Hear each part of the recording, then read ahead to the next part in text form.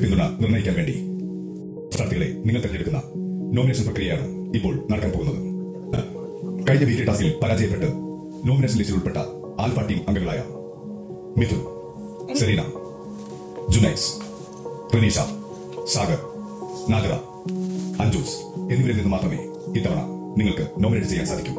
ഇവരുടെ മുന്നോട്ടുള്ള പ്രയാണത്തിൽ പ്രതിബദ്ധം സൃഷ്ടിക്കുന്നുവെന്നും വളരെ ദുർബലരായി ആർക്കും എതിരാളികളാവാതെ രക്ഷപ്പെട്ട് മുന്നോട്ട് പോകുന്നതെന്ന് നിങ്ങൾക്ക് തോന്നുന്ന രണ്ടുപേരെയാണ് ഓരോരുത്തരും നോമിനേറ്റ് ചെയ്യേണ്ടത്. അടുത്ത എവിക്ഷൻ പ്രക്രിയയിലേക്ക് നോമിനേറ്റ് ചെയ്യപ്പെട്ടവർ. ടാസ്കിൽ തടസ്സം സൃഷ്ടിക്കൽ. തെറ്റായ പ്രസ്താവന എന്നീ കാരണങ്ങളോടെ രണ്ട് വോട്ടുകളുമായി സെറീന. തെറ്റായ കുറ്റാരോപണം ന്യൂട്രൽ സമീപനം എന്നീ കാരണങ്ങളോടെ രണ്ട് വോട്ടുകളുമായി നാദര നടക്കുന്ന വസ്തു ഉപയോഗിക്കൽ. തെറ്റ് മനസ്സിലാക്കിയിട്ടും തിരുത്താൻ മനസ്സിലായ്മ. എന്നീ കാരണങ്ങളോടെ നാല് വോട്ടുകളുമായി സാഗർ. മാനസികമായി കരുത്തില്ലായ്മ. ധൈര്യമില്ലായ്മ. ചെറിയ കാര്യങ്ങൾ ഊതിപ്പെരുപ്പിക്കൽ എന്നീ കാരണങ്ങളോടെ നാല് വോട്ടുകളുമായി ജുനൈസ്.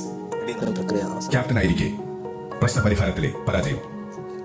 നിലപാടില്ലായ്മ. മറ്റുള്ളവരുടെ സ്വാധീനത്തിന് അടിമപ്പെടൽ എന്നീ കാരണങ്ങളോടെ നാല് വോട്ടുകളുമായി മിഥുൻ. സുഖിപ്പിച്ചുള്ള സംസാരം.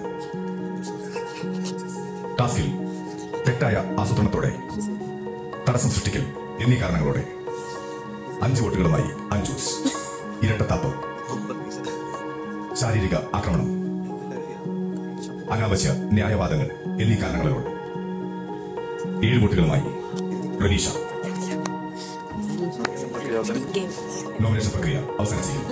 എല്ലാവർക്കും up.